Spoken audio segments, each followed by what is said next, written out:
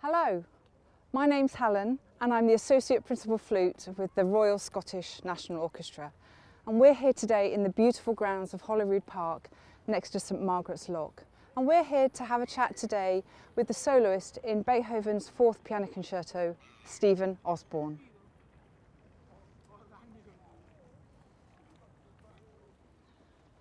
Hi Steven. Hello. Thanks for agreeing to meet. That's lovely. And did you order this weather? I- it's I did. fantastic. It's brilliant.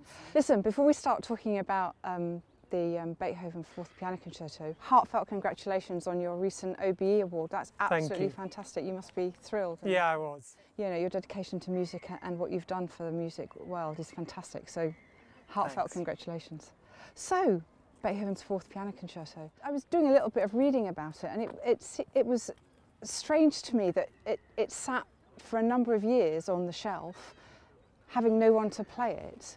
And then when it actually it got its first private premiere, in actual fact, Beethoven himself ended up playing the piano, and then the, he also had to conduct Symphony Number Four, which was also a premiere.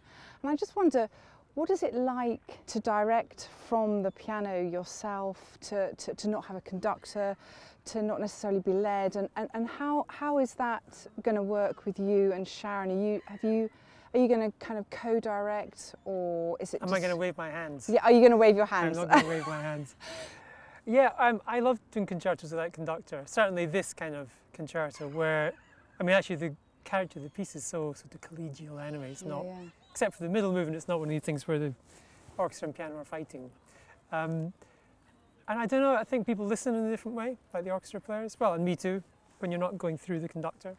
It suits the way that I like to make music, which is this sort of really trying to find this communal space and to find the feeling together. And to do that, you need to listen very closely. Yeah, yeah, yeah. So I'm looking forward very yeah, much. Yeah, and I guess uh, that was one of the things I wanted to talk to you about as well, is about the characters of this concerto, and in that Beethoven, when you know, he clearly knew he was going deaf. Yet we have this image of this incredibly successful composer.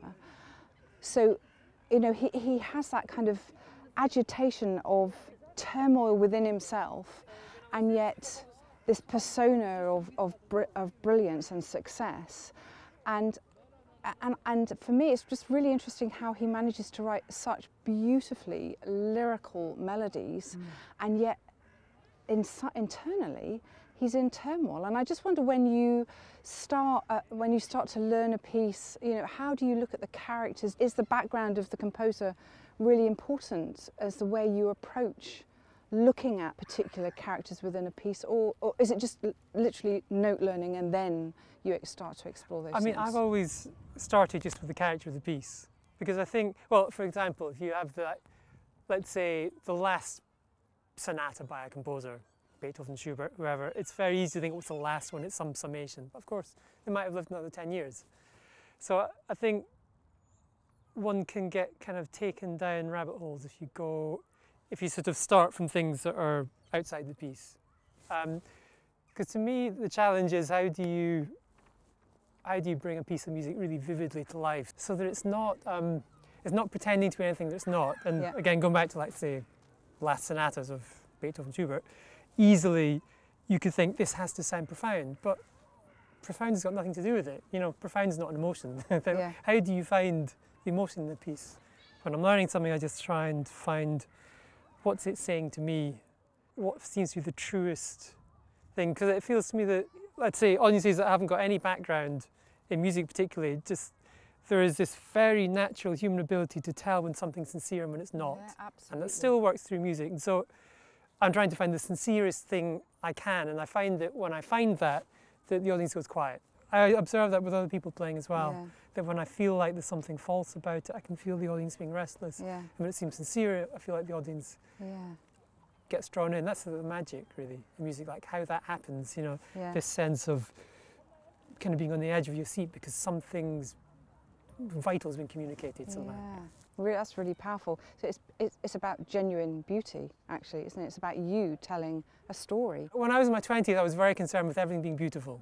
Uh-huh. And then gradually, it felt to me that it reminds me of when I was at music college and when I was in the RNCM in Manchester, and this, there was uh, concrete staircases that were sort of very resonant. And whenever the singers went up the staircases, they would sing Mm. because the sound was so wonderful and, Mm, mm, and beautiful. mhm, You know, beauty easily is actually a distraction somehow. mm.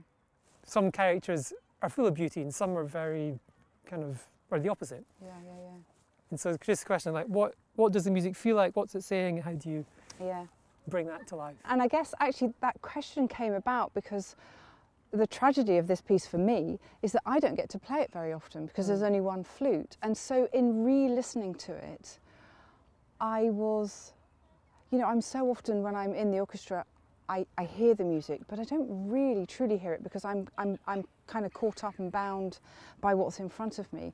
And actually what, what was, I, and I guess the reason I use the word beautiful is because I listen to it in a very different way. And some of, Mm. some of this concerto is absolutely sublime. It's an incredibly beautiful piece. The first movement, especially, I would say. Yeah. But it's funny with Beethoven. Often there's these very striking contrasts that are not easy to bring together in your mind. So there's this amazingly lyrical first movement. I mean, it has its moments of drama, but basically a very lyrical character. And then this middle movement, which is so conflicted, and you wonder, well, where does that come from? Mm. How do you follow that first movement with this, mm, mm. which is this like the most I, I mean, it's an incredibly dramatic structure of this sort of opposition between piano and orchestra.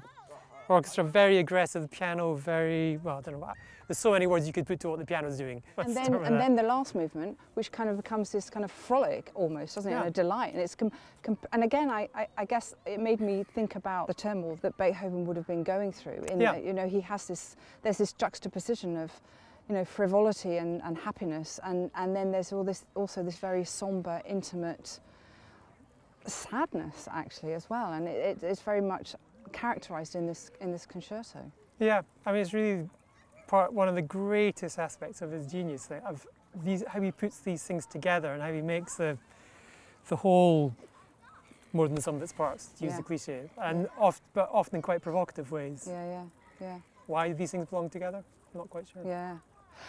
Just um, one other thing before we leave it, actually, Steven. Are you going to use Beethoven cadenzas, or do you sometimes feel that you would like to write your own, have your own? I have written my own for, for the first and second concertos. I wrote my own.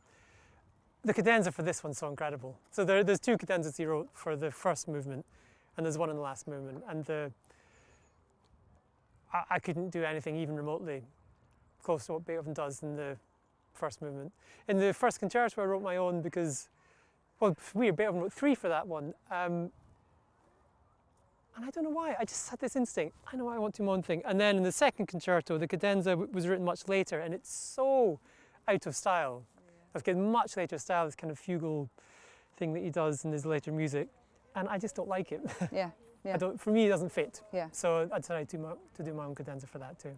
Right. Brilliant. That's lovely. Okay, Steven, it's been such a pleasure to talk to you and get some of your insight into Beethoven's Fourth Piano Concerto. Thank you very much for sharing those with us. You're welcome. And thanks to you too for joining us for this concert. Now I'll return you back to the Glasgow Royal Concert Hall for the second half of the concert. Thank you.